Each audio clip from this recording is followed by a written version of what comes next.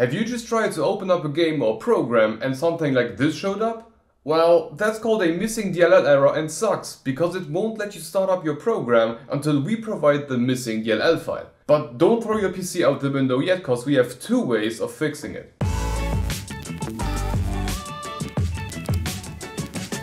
I'm running on Windows 11 here, but this will also work fine for Windows 10, 8 or 7. Okay, let's get started. Method number one is to install the DLL file ourselves. For this, head over to our website by clicking the link in the description or in the i symbol in the upper right corner. First off, scroll a bit down to the download section and download the DLL file. After downloading it, open it up and keep it on the screen.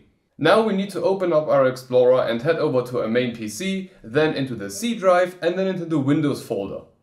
Now here scroll all the way down until we can see a folder called System32 and one called syswow64. Here drag the DLL into the System32 folder and also into the syswow64 folder.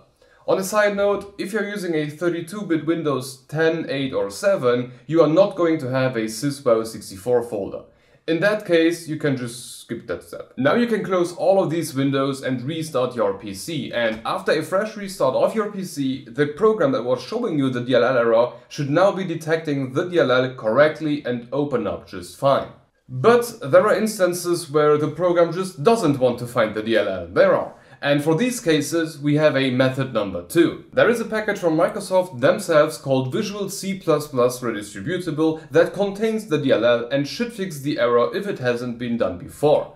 So let's go back to our website with the method 2 link in the description or the i symbol in the upper right corner.